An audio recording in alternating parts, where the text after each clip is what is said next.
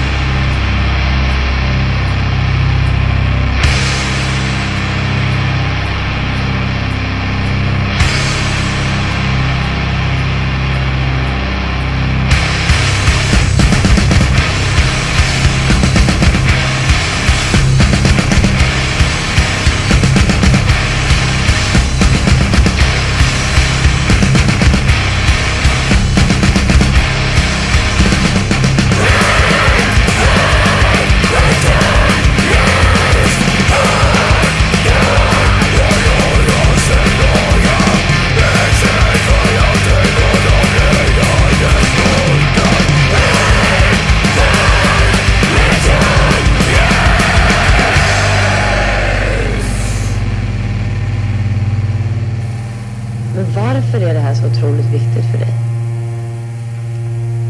Det är mycket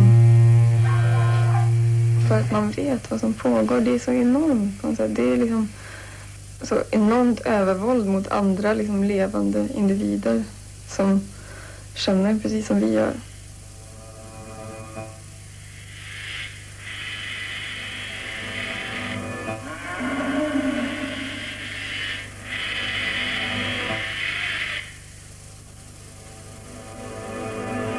Människan är ju liksom expert på att hålla på och mixtra med saker och ting och ska försöka tjäna så mycket som möjligt på allting. Konsumtion styr mycket produktion.